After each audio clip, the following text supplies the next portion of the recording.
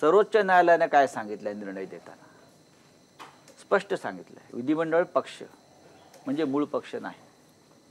विधिमंडळ पक्षातली फूट त्यांचा गट म्हणजे मूळ पक्ष नाही.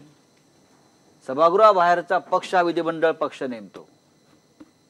उद्या चाळीस लोकांवर जर पक्ष ठरणार असेल आणि उद्या चाळीस लोक निवडणूक हारले तर इलेक्शन कमिशन आपला निर्णय मागे घेईल का?